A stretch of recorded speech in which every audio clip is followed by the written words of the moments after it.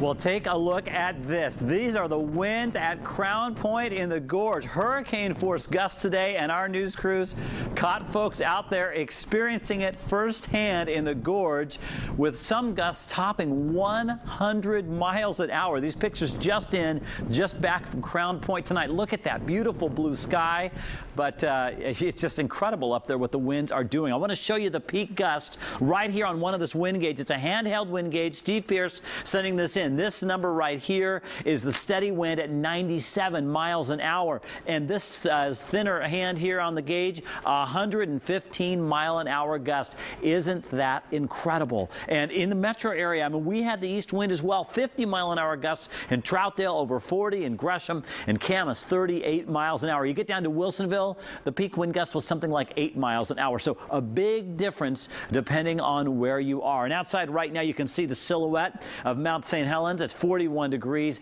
and it's breezy in Portland, 18 miles an hour, but is nothing compared to what's going on many places. Breezy conditions continue for a good chunk of the evening. If you've got winds now, you're going to hang on to them. And then if you don't have winds, expect fog and frost to begin forming later on as temperatures drop pretty quickly tonight and tomorrow morning.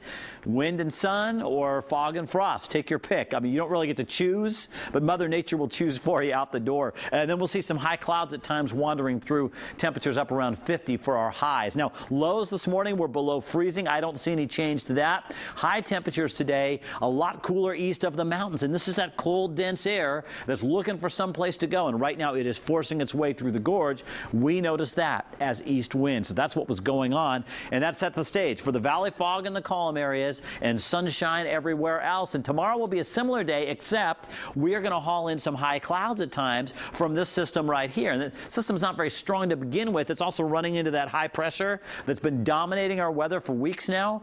And so by the time it gets here, there won't be a lot left. Let's talk about the window. How much longer is this going to last? Uh, this tonight at 5 o'clock. We've got the solid east winds across a decent chunk of the metro area. Notice the winds retreat by morning. Still a little breezy near the Columbia, and that should keep some of us in the sunshine tomorrow with a better chance of fog to the west and to the south where there's very little wind in the morning. And by tomorrow evening, I mean, the east winds are gone in the metro area, although they're still dying off for those of you in the gorge. What about rain from this next system? Well, 8 a.m. tomorrow, just the valley fog, which doesn't show up here, but high clouds will be rolling in at times during the day and tomorrow night. Then I think we go to cloudy skies overnight into Wednesday morning. That's Wednesday morning, and we could see some sprinkles out of the system maybe some drizzle, but then guess what? We continue to have that offshore flow, and the east wind is going to be coming back, I think, as we get uh, closer to the weekend. So tomorrow, it's breezy east, otherwise passing clouds fog and frost uh, in uh, the uh, metro area tomorrow. We'll see a breezy day at times at the coast. In the valley, not so much in the way of wind, and temperatures are cooler.